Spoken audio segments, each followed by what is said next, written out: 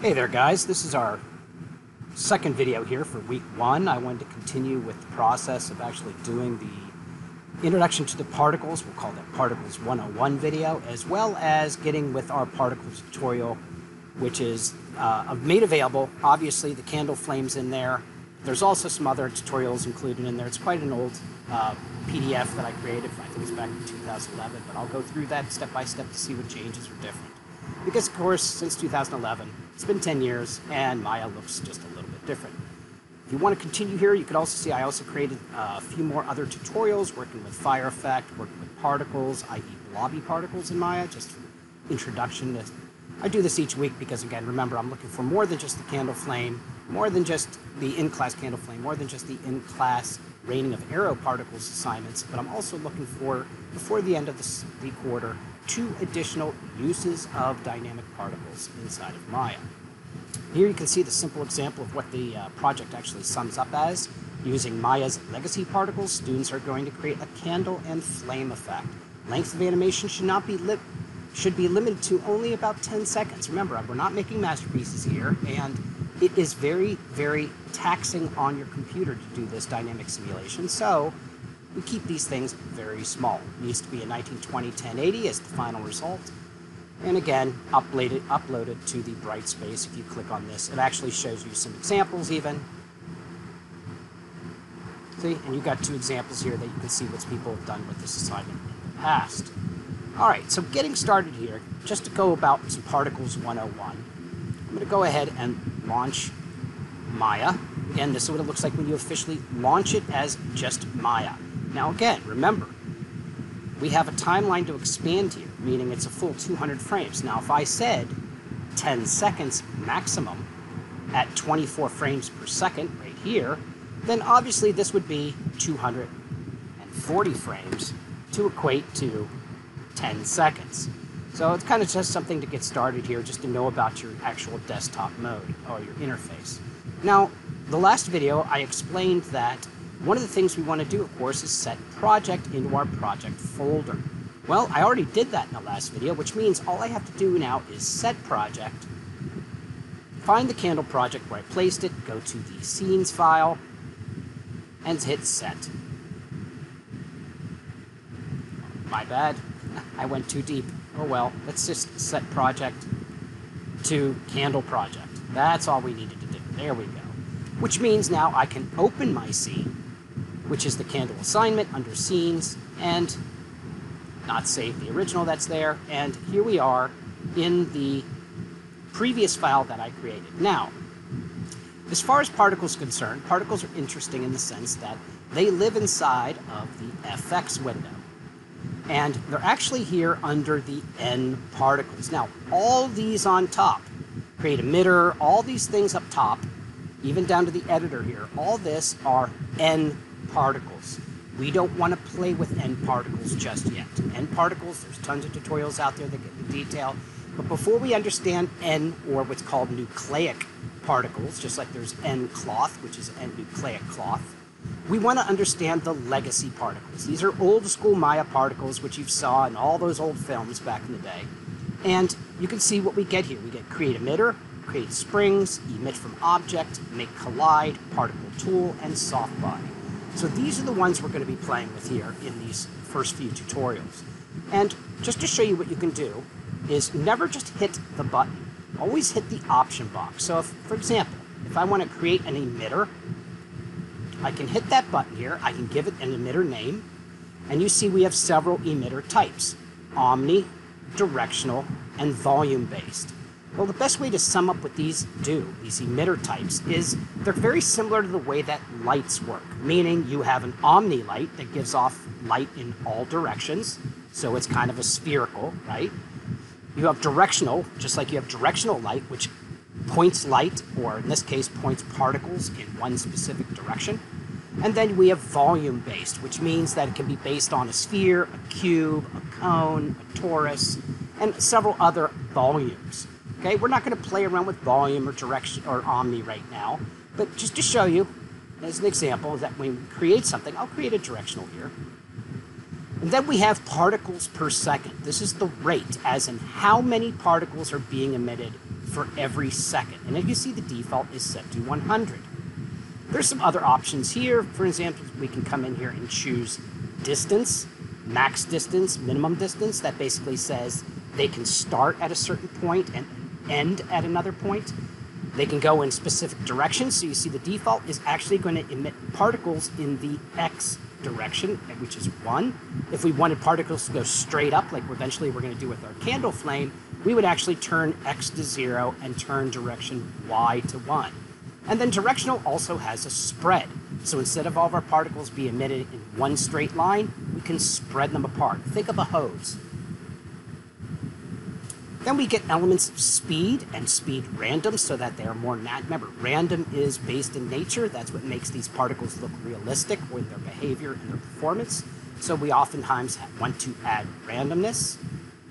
And then we have some volume types and some volume speeds, which again is getting a little more advanced than we really need to worry about right now. So just to show you here, I'm just going to go with this first emitter and hit create. And you see it gives me this little green object here. I can scale it up probably. See if it lets me scale up my emitter.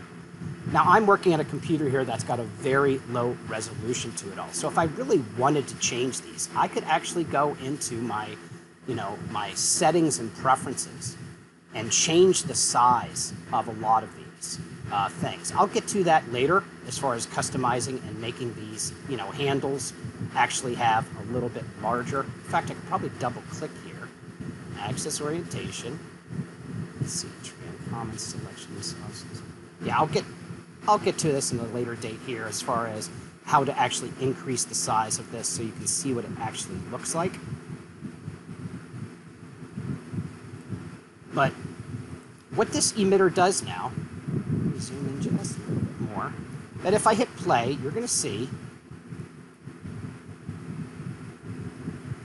that this is emitting particles. Let's see, I'm trying to make them be a little bit larger here. Watch, I can actually go to the particle tool here and check and see under the size here of points, we could go temporary to spheres or something like that.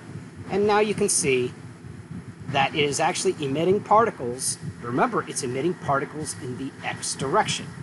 If I go back to the emitter, I can change that direction, maybe x to 0 and y to 1. And you see now I'm emitting them upwards. If I add a little spread, I can spread them out. I can change the speed and the speed random and go back to my particle shape here, current render type. Oh, it wants me to pause it.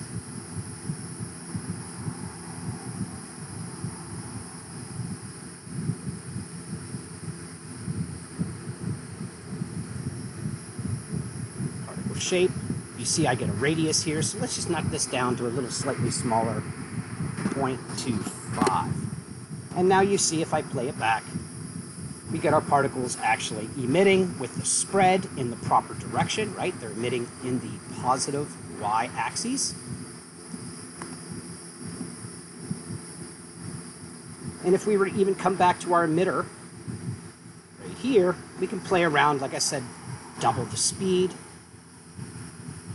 put in some speed random, and you see now we're emitting just these little spheres as particles.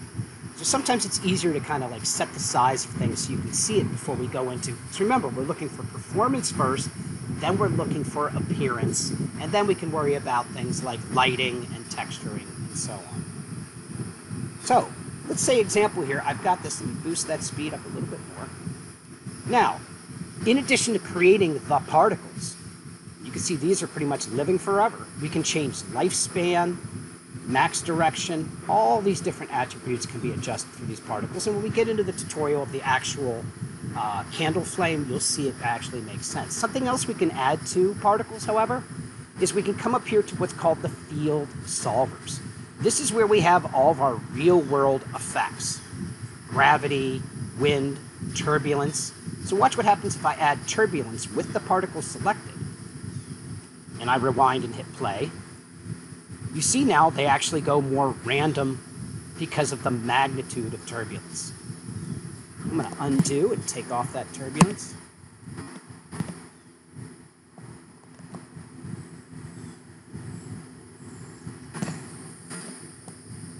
Okay, so I got rid of the turbulence. One more undo.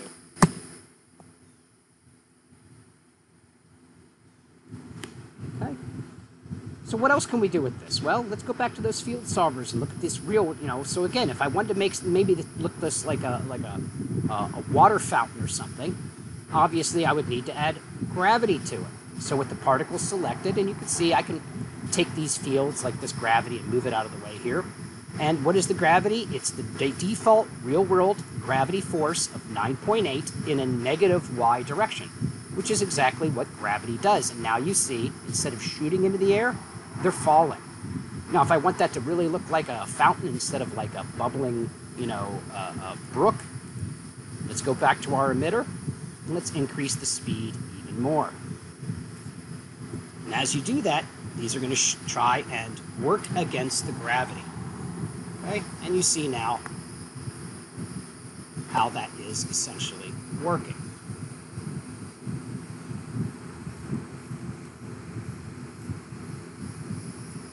I'm going to move that up a little bit here so it's actually starting and emitting up off the, the plane. See that? And there's just a lot of really neat things here because even here, I can create like a plane right? And watch. Particle, shift, plane, and watch what I can do with this. Let's go to those field solvers, and I'm going to look for make collide. It's probably here. See? Make collide. And now if I rewind and hit play, the particles now are going to collide with that ground plane and bounce off.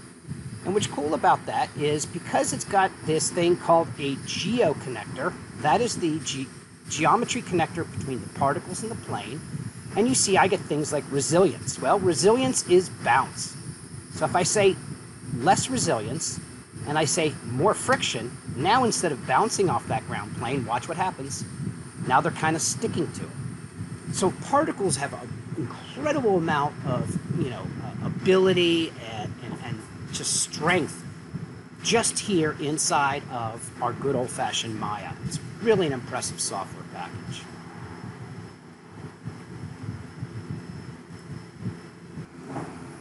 All right, so let's actually get into this candle flame tutorial here. Let me go ahead, delete everything. And if you haven't seen it yet, check out the little tutorial. Like I said, I wrote this pretty easily. Um, it is quite old. So like I said, it's 10 years old already, but it actually gets to the meat and the potatoes of how to do this. And it kind of walks you through it. So as again, as with any project scene generated Maya, it is always important to set project, create new project. If creating a new scene, create a new project. And this is especially, like I said, because of the cache of the memory and where you save the scene and where all that data goes. So we get started here at the candle flame emitter, how to create a simple candle and flame. Now, I started here by simply building the set.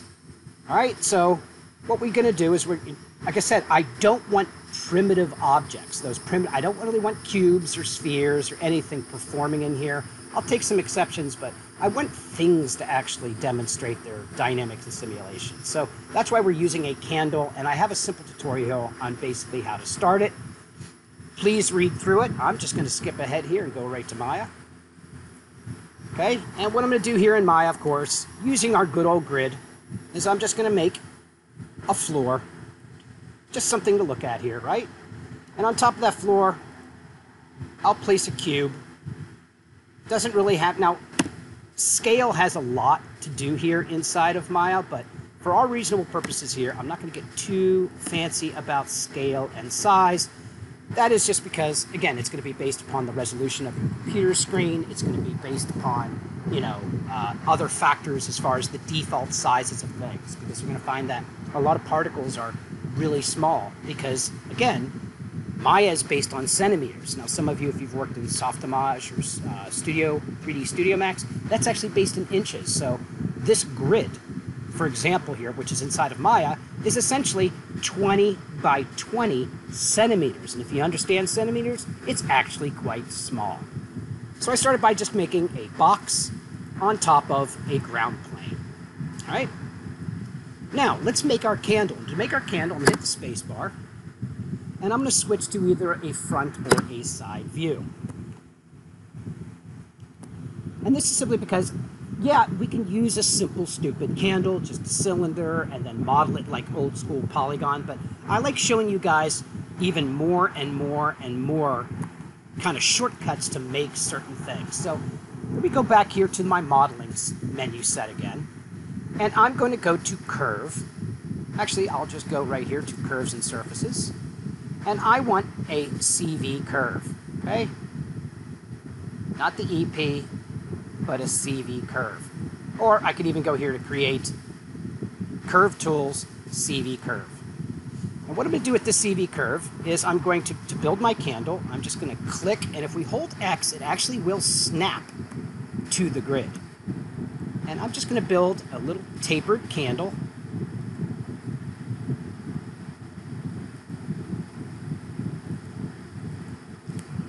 Whoops, I need a sharper right corner there. Let's remember two clicks, sharp corners. One click, round corner. That's how a CV curve tool works. So if I move this out of the way, you see exactly what that is. Nothing too fancy about it. It's just it's just a curve, and if I were to look it back in my perspective view, you'd see exactly what it is, right? And what we're going to do with this curve, I'm going to stick here to the perspective view a second. Going to do is we're going to do what's called a revolve, okay? That is here in the surface. Revolve, option box. And we want to revolve around the y-axis, okay? We're going to use the object of the pivot to do a 360 degree revolve. Okay, we can leave this eight segments and we want to output as polygons. And something that's important to do when you output as polygons is to hit quads, general, span, span. This is a way of actually using curves to create polygon modeling. Now, if I went with just the default, it would actually give me a NURB uh, uh, model, a non-uniform rational B-spline, and that does work because we're not really dynamically interacting with this candle. We just want it to look pretty. So I'm just going to hit the revolve here. And you see it has revolved that candle. The problem, of course, is is that you'll notice if I deselect, it's all blacked out. That is because the U's and the V's, or the normals, if you like, are reversed. All right, so what I made the problem here before, guys, is, is it's inside out, meaning the normals are facing in. So if I go to display, polygon, and say, show me the face normals, you notice you don't see them there because they're actually facing inward. So reversing that is mesh display, reverse, and you notice now suddenly, now it's visible, and if I click, you see these little green hairs, meaning that the normals are now officially facing outward. So I can come back to my display, polygon, and turn off my face normals. Because now our candle is back to where it was. Go to my attribute editor and move it back down to its base. Okay? And because we're done with this now, I can delete the history on this. Watch, edit, delete by type history, which allows me to go back to my curve and delete it. Okay, so we have a candle, okay, and we have ourselves our box, and this gets us back to where we were here, uh, going all the way down here. Of course, this one looks a little different, of course, because I used triangles instead of quads, which I, hey, it's fine. And now we're moving on down here, and now we're ready to create our emitter. All right, so following the dynamics menu set, so now again, back here in Maya, we need to switch back to the effects menu set. Okay, deselect. And again, I could even save Control S just to be safe right now. So now we need is to create an emitter. Now on the tutorial here, it says to create in the option box a directional of 100 changing it to the Y positive. Well, we saw that already in our prior video. So let's go ahead and do that. So again, under the N particle, under the legacies, create an emitter, option box, directional of 100. Go to the distance, change it direction to positive 1 in the Y and 0 in the X. What else does it say here to do? Okay, well, let's see here. Uh, the spread value should be 0.3.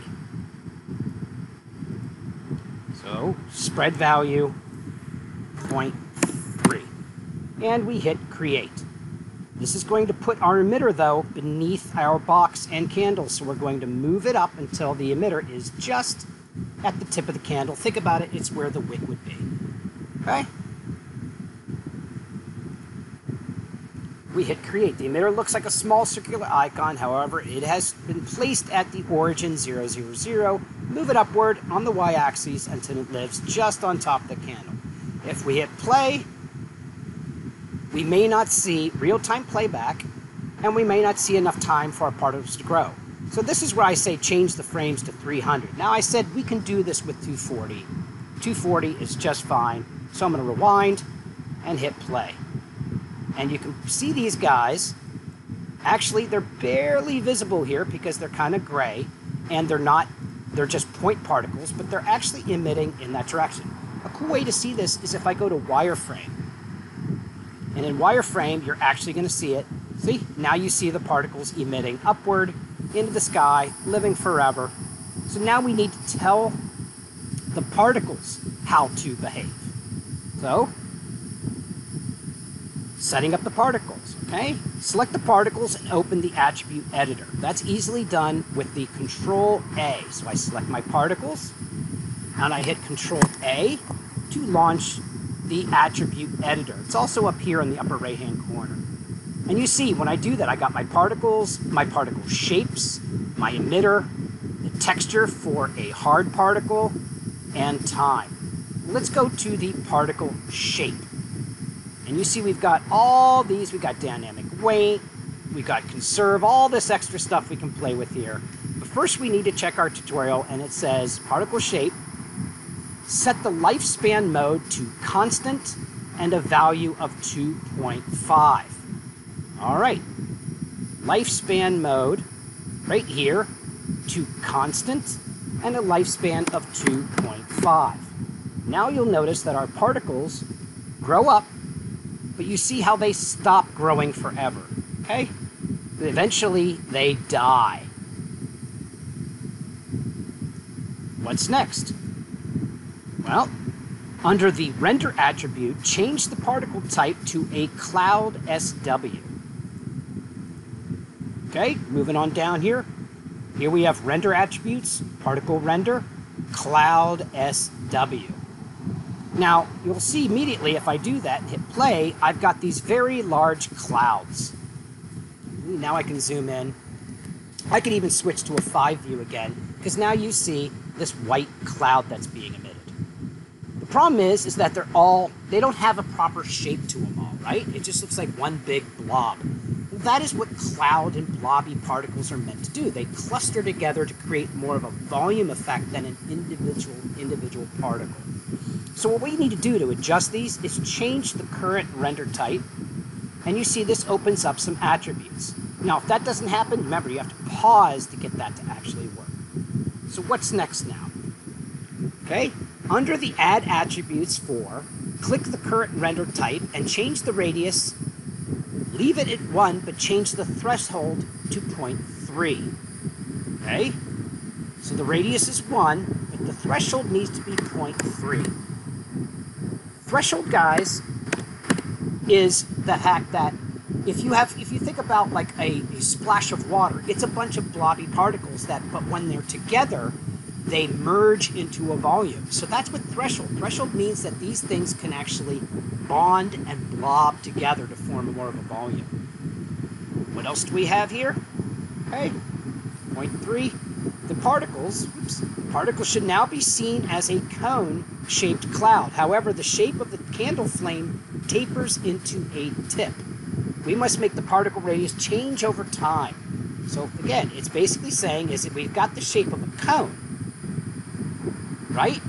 But it doesn't quite look like the actual uh, uh, teardrop, right, shape of a candle flame. Just like if you struck a lighter or a match or something like that, that has a specific shape.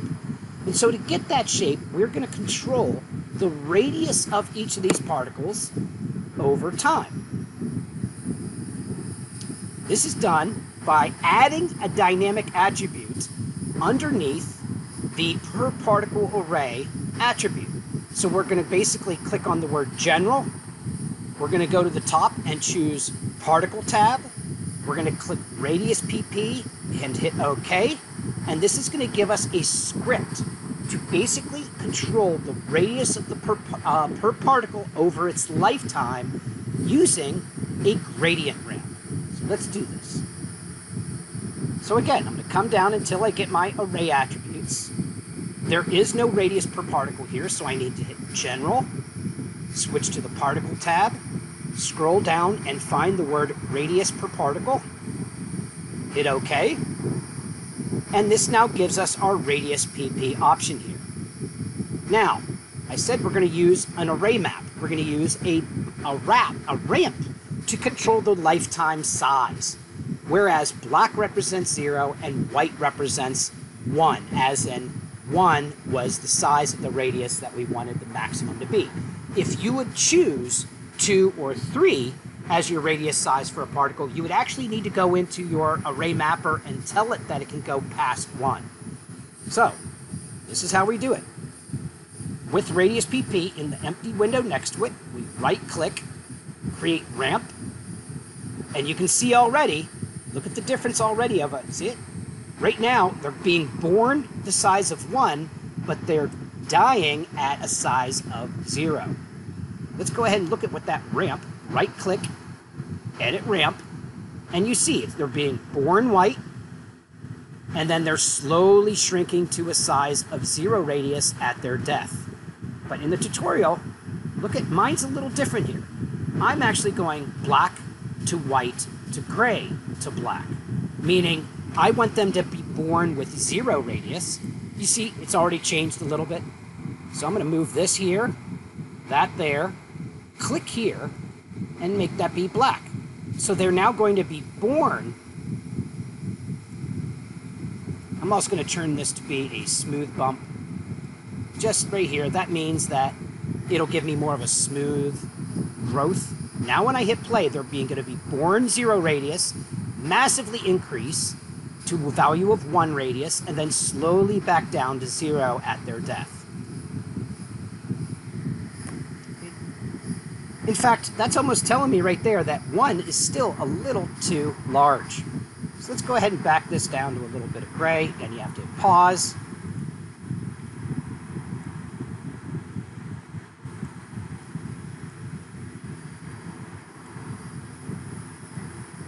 Let's see what this looks like now.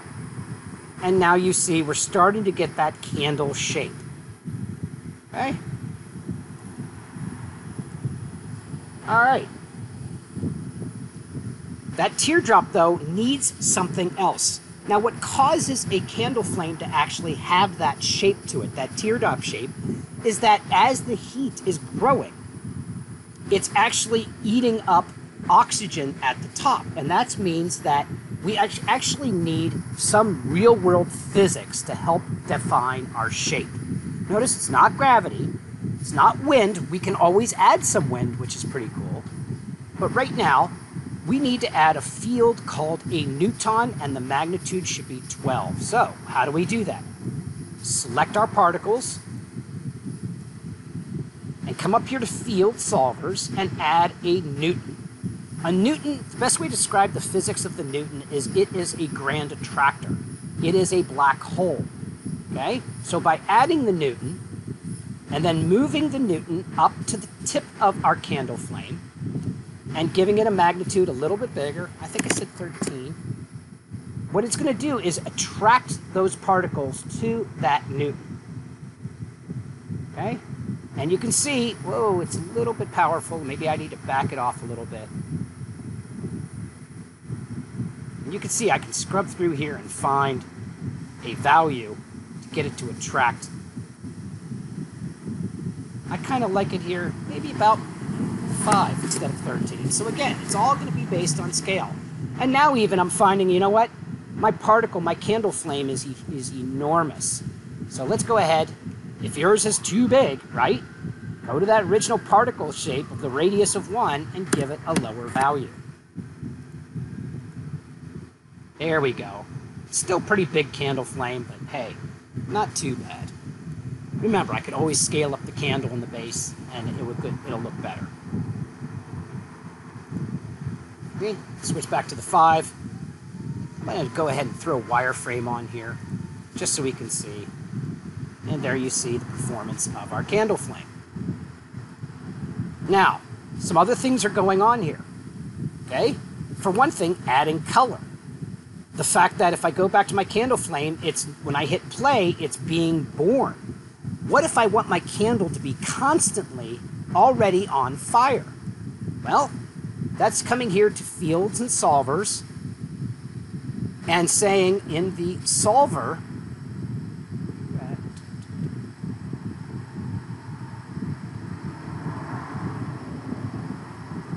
see where I'm going to need to put this. I need to set the solver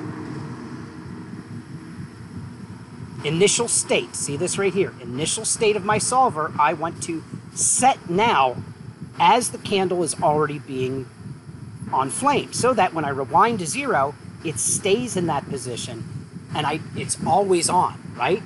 So I don't have to start it and stop it and it doesn't have to, it doesn't look like it's being lit and taken off. It's already in the status of giving me candle flame. All right, let's put some color to this, okay? Adding color to the flame. And this is a combination of three different color channels we're gonna deal with. We're gonna deal with the actual color of our candle flame. We're gonna deal with the glow value and the incandescence and transparency too, because I don't know if you've ever noticed, but the candle at the base is very transparent. And it is important to remember that we, we will not see the color of our flame until we hit the six on the keyboard, right? That is show colors. Currently the flame appears as gray. However, if you render, you will see the flame appear blue. So let's see if we render here. What color is it going to give us? Oh, well, we're actually seeing white because we're in the Arnold. This is where we could actually quickly just switch to Maya software and you see it's going to give us a blue flame. That is because the base default texture color of particles is this blue. Very similar to the default color of all geometry is always gray because it's always assigned the default Lambert 1. Don't ever change those. Leave Lambert 1 and leave particle cloud 1 shaders alone, right? See if I close that down, you can see if I go into my materials list here, it's going to give me my particle cloud, the default particle cloud, see this, is a blue, see, for the particle cloud. So it's blue color. We don't want to use that. What we want to do is actually create a new particle cloud shader. So open the tab from the top called Initial Particle SE, and you're going to see the colors assigned to our particles by default. So let me minimize this, select this, nope, not Newton field, particle, and you're going to see particle cloud,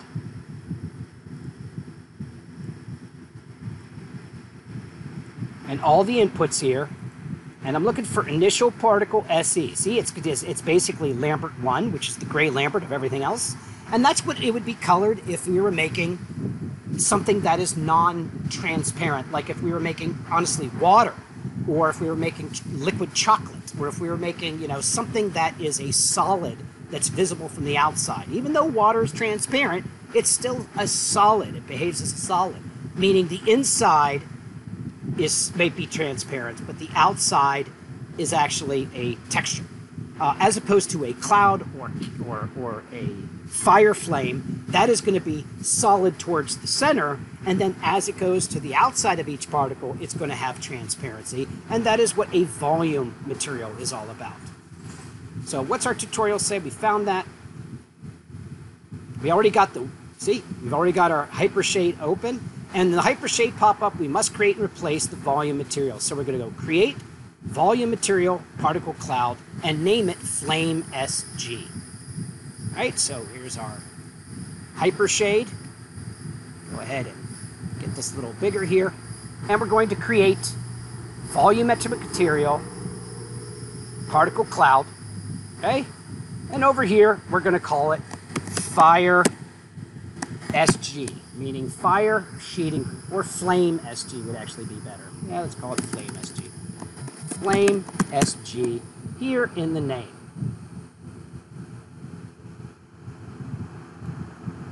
Okay, and enter. So you see now we've made a new particle cloud SG and named it appropriately. Now we need to get into actually colorization of it all. You see it looks just like it here. Okay? We're going to assign this to the particles by selecting the particles and then right-clicking on Flame SG node in the Hypershade and assign it. So, let me just minimize this out of the way a little bit. So, I'm going to select my particles. In the volume material here, I'm going to right-click on the Flame SG and assign the material and you'll actually see now, if we select particles and we get to our actual flame SG is now loaded into our particle. Minimize that hypershade because I've got it here. Now it's time for color. Okay? Back to the attribute editor for Flame SG, click on the checkered box next to Life Color, choose Ramp. Okay? So not the color, but life color here. And we're going to click this life color, choose ramp, and then we're going to just go back a step, two, to get to the ramp that it assigned. Now, this is what's going to be done. So you see the life color is basically going to look like a candle flame. We're going to do the same thing with life transparency and life incandescence. So let's do those all three here. So life color, go to a red. Here we'll go to orange. Here we'll go to a yellow. So you see what we're getting there is just fire flame, right? It's being born, turning red, orange, yellow to white. Backstep. That's life color. Life transparency, it's also going to get a ramp. Go back twice. And what's our life transparency? This is actually transparency is driven by white and black as well, whereas white is transparent and black is solid. So we're going to follow this here. So again, we're going to say it's going to be born transparent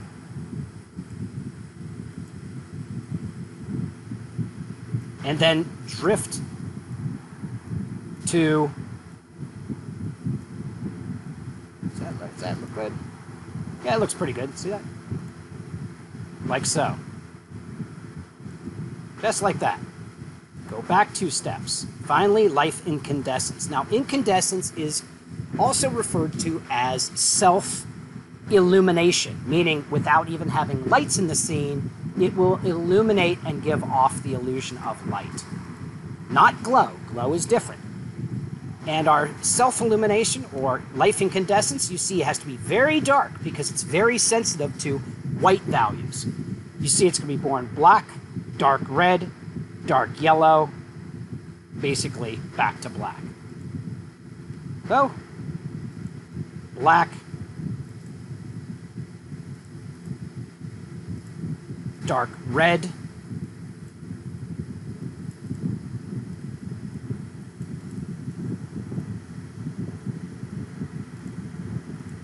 Dark yellow.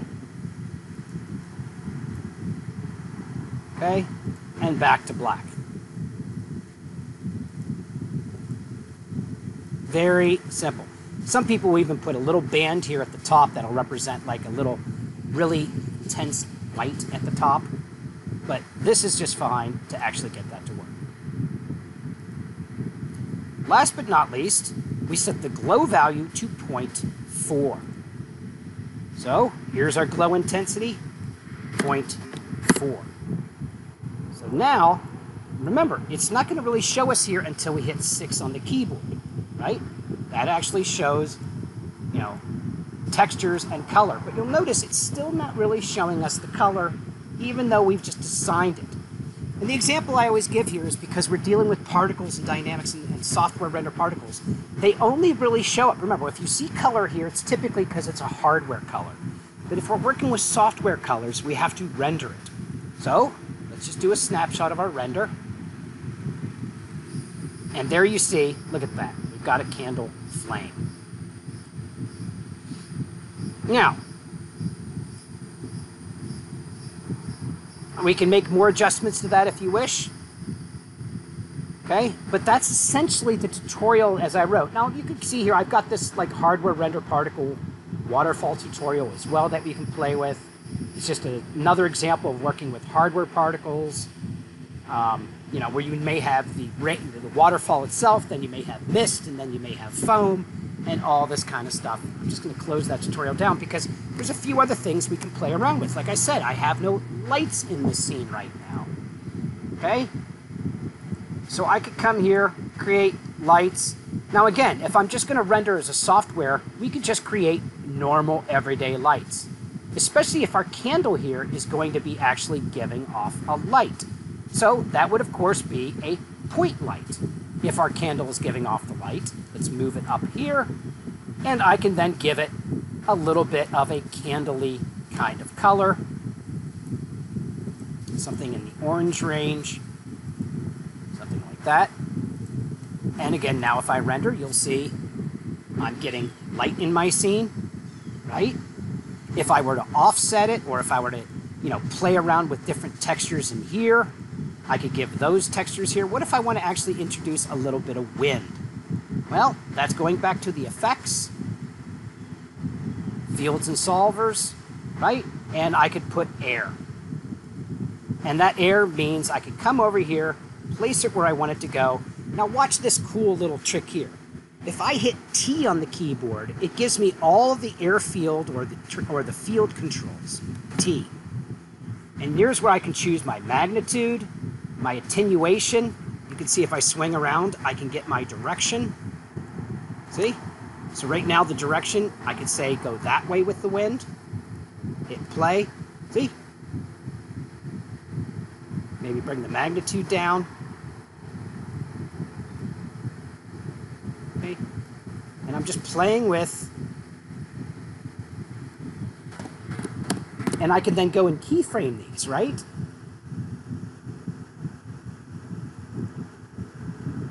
Enable some spread to this wind. I could add different special effects. You know, I could come in here and I could change, you know, for example, if we don't know, we should know by now how to play around with uh, keyframing. So at one, I could come here and right click, set a key for the magnitude, set a key for all three of the directions, turn on my auto keyer, okay?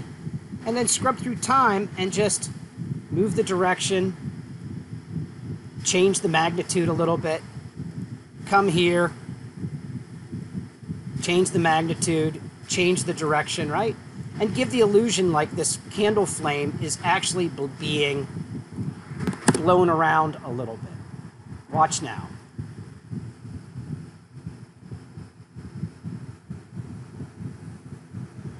Maybe I need some more zeros in here. Let's add some more zeros.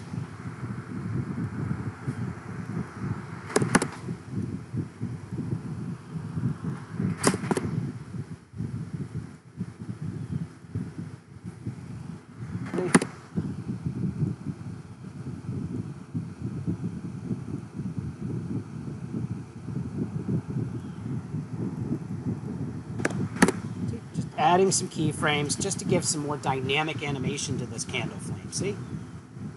So again, you can actually interact it with the world. It has a more natural, random movement to it all. All right, let me hit save a second. Just uh, save it, pause.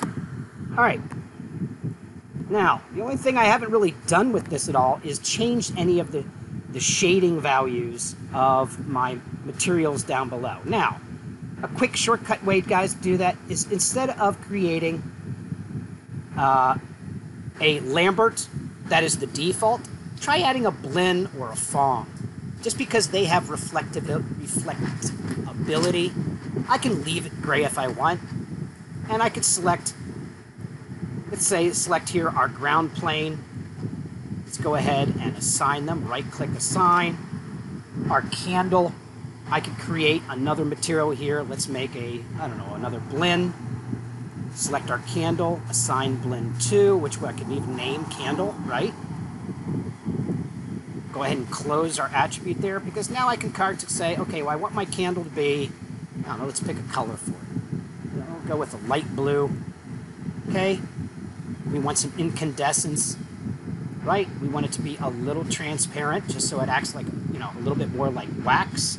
And most importantly here is to activate ray trace. Same thing can be done with our Blinn we did here. Let's put a simple color to it instead of just gray. I'll just give it uh, brown, something like that. Okay, let's come in here and say ray trace. And last but not least, I believe we still have to tell our particle color, which is our particle SE.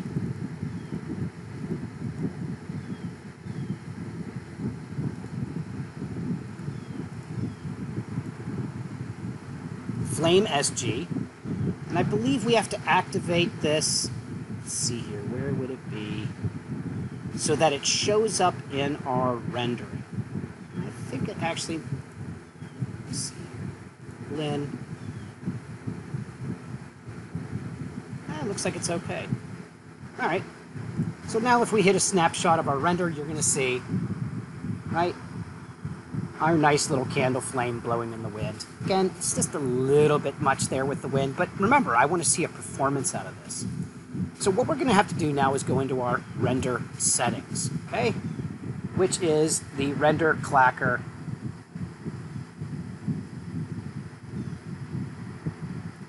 All right.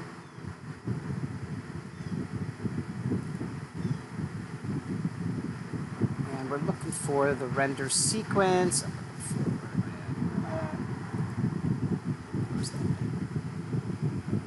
This is interesting. Launches the render setup editor, create layers collection. No runs. No.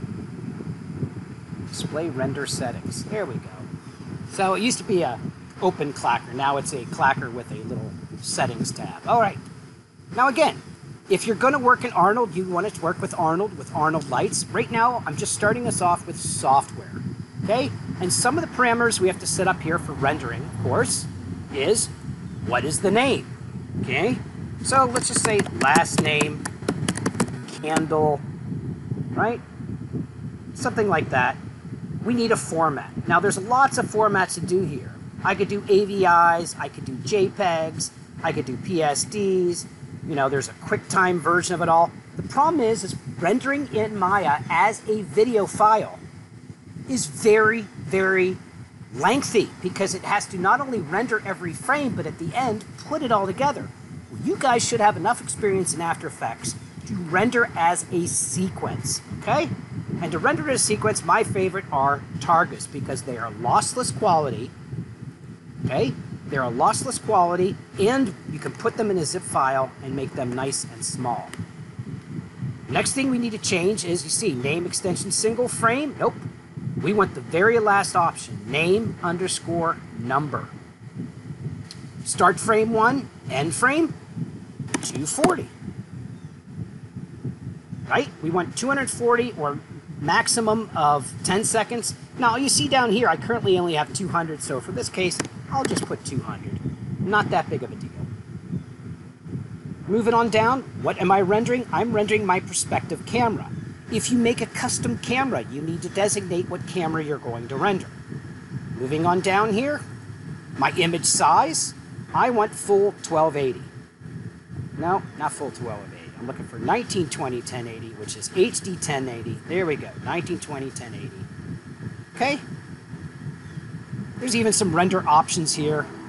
Doesn't really give us much, but again, for some of you that dive with a fancier computer, you might have like a render farm. Now that I've set up the commons area, common area, let's move to Maya software. Quality. Now you see the default is usually kind of low. But if I choose production quality, it's going to give me a much higher quality. And then I can come down to the ray tracing and turn that on. What is ray tracing? It means that because of the lights in the scene, I'm going to get not just shadows, but reflections because I chose a Blinn with mental ray reflections on. Okay. Let's see, that looks good. I don't really turn on motion blur. Remember, the more you set up here, the longer it's going to take to render. Okay, so I'm just going to hit close.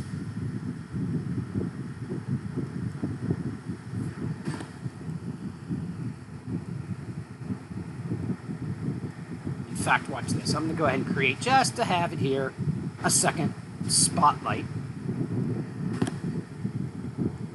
Just to have a second light. Right? Most scenarios require at least two point lighting, if not more. This one I can have be a lot less intense. I'll give it the inverse color of the candle. What's the color of the candle? It's yellow light. So what color should be the shadows? A dark purpley color, like so. Meaning this is more of my lighting, my shadow light value.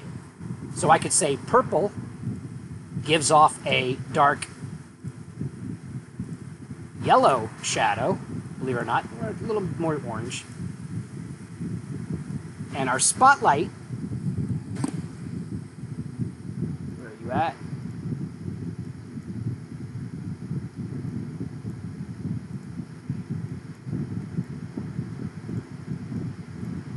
Here's my airfield, here's my light.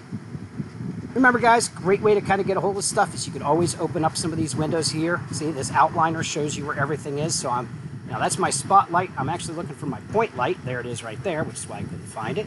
And I can even tell my point light because it's giving a yellow. What is the complementary color of yellow? Is again a dark purple. And so I can actually say that yellow light gives off purple shadow.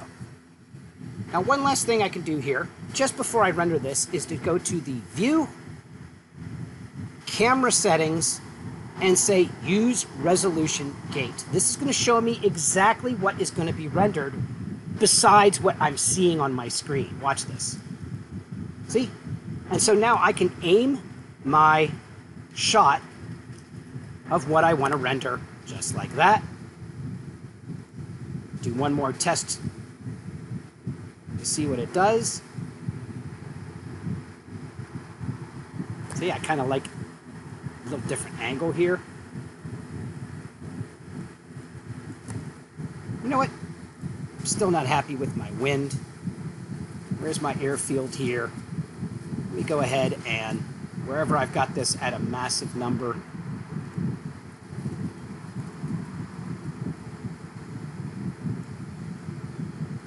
I think somewhere I had it up at six or something like that. It just turned those values down.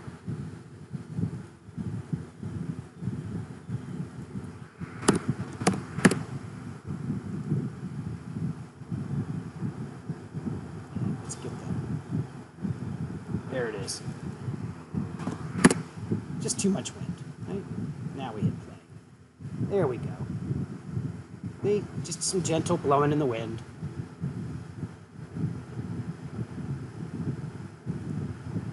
Hit save the last time, and now we're actually ready to render off our sequence. Now remember, I'm doing a sequence because in After Effects I'm going to put this together with my name on it. It's what I expect you guys to do as well, so I know who's what. And this is going to be very helpful, of course, when you actually get to the world of uh, the final, of actually building a demo reel. All right, so now all I need to do is render.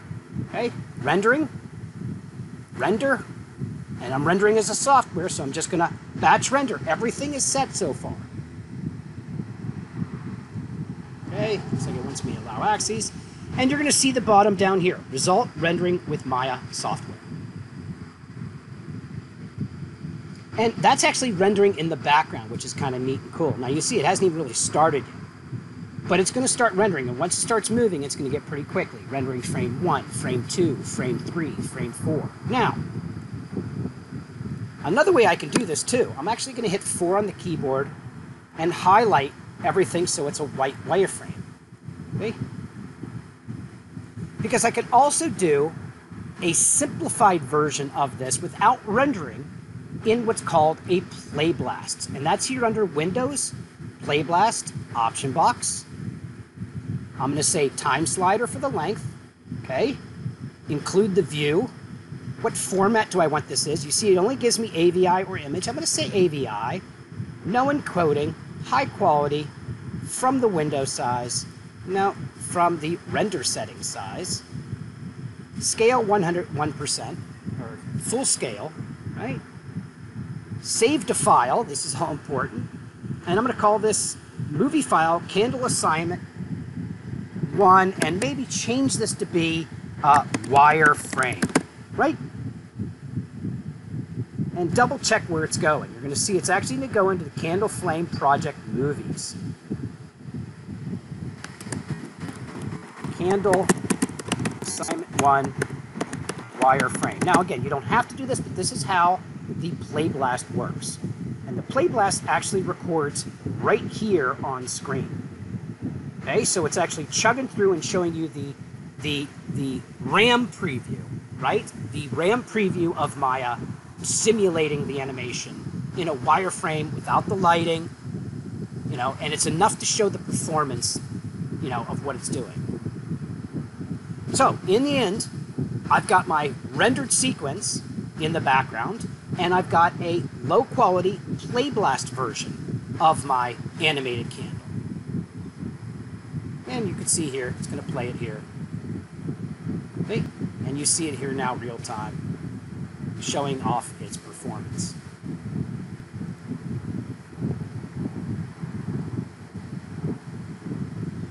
All right.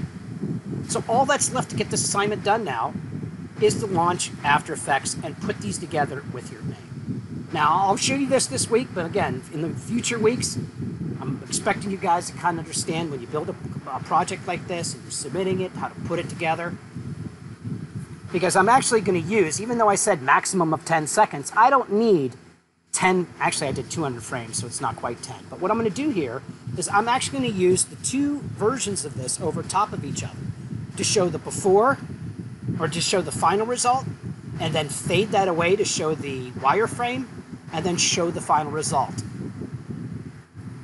So we launch After Effects.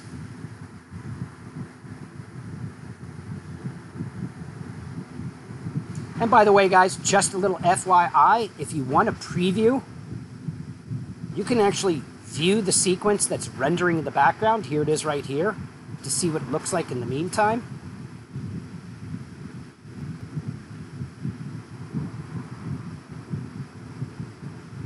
Almost looks like I need a little bit more light in here. You can't really see the box.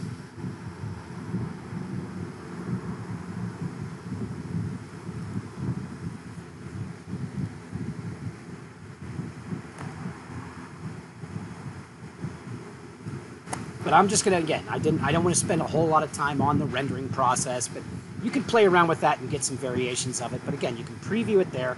Here's my After Effects new project. And what I'm gonna do is import my wireframe. So again, I gotta find my desktop, find my project folders, right? Right here, candle flame, candle project. Remember, it's saved in the movies folder, the wireframe. Let's go ahead and import that. And drag that down to the base. Okay, and we've got that now, and you can hit the space bar, you can get it working for you there.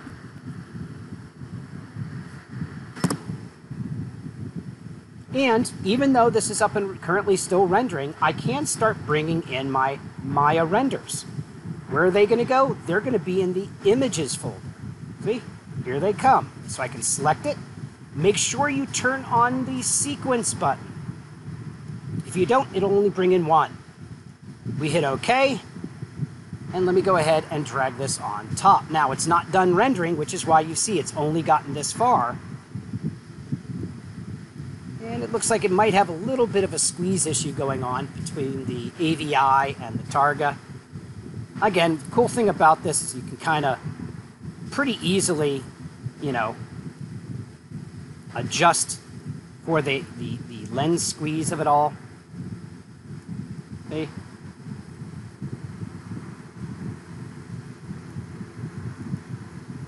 even here, just to make this look good and clean, let's go ahead and new solid. Make it be that color. Put that on the bottom.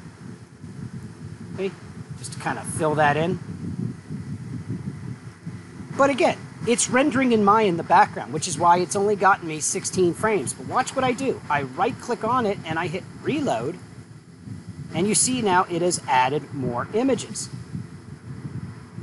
So while that's finishing rendering, uh, rendering, guys, is something you usually want to dedicate at night. You don't want to mess with it during the day because you're probably going to be working on projects.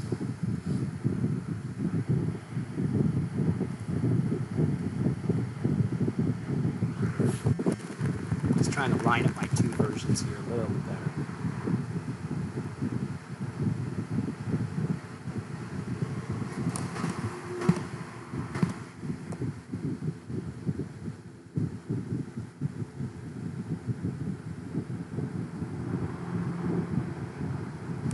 Kind of like that. Okay. So this is where we can add some important information here, right? Grab the text tool, put your name on it. Assignment one. Candle, flame, right? And any information you feel is important there, right? You can put AI, AI, what is the class dynamics and simulation, anything that helps explain what's going on date, what software version were you in. And I'm just going to drop that down just like that. Let's double check our process on the renders. Reload. See it added quite a bit more frames. And if I hit the spacebar, you can actually see how we're going to basically show that all off. Reason I think my my play blast I may have adjusted or moved my camera by accident, which is why they're not lining up perfectly, but that's okay. So again, eventually what I'll do is when I get all this rendered, I'll just take out a section of it here to show it fade away to reveal the wireframe and then come back to it. Last but not least, it's just an issue now of sending it off to the media encoder and choosing the H.264 MPEG-4 compression type. That is the preferred format. I don't really want QuickTimes. I don't want, really want AVIs. Make sure, because the, they're, they're much, much larger than an H.264. And if you send off the media encoder, it will do that. So, in a nutshell, guys, that is it. As that's loading up. Second. Good luck with your candle flame. Uh, there are other resources naturally besides what I've gotten done here that actually you know, get more greater detail and whatnot. But that's about it. That's pretty much what I'm looking for there. And if uh, I will try it, like I said, and get the second video, which is going to be next week's Raining of Arrows, uh, uploaded as soon as possible. Thank you guys, and good luck to you. Take care.